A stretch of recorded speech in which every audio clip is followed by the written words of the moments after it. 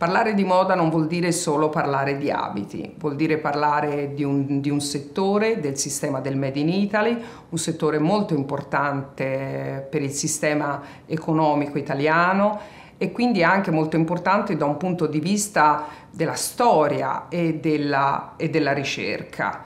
Eh, la moda è l'interpretazione dei linguaggi del contemporaneo riferiti a un determinato momento e a una determinata situazione economica.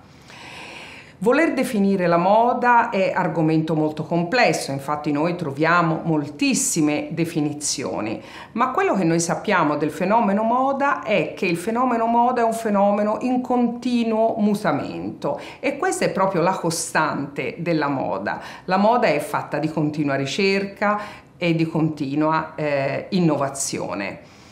Eh, basti pensare oggi la moda in cui siamo nella digital transformation, la moda ha interpretato e sta interpretando questo fenomeno. Lo sta interpretando nei modi secondo noi più avanzati, in quanto sta progettando per esempio il nostro guardaroba reale e il nostro guardaroba digitale.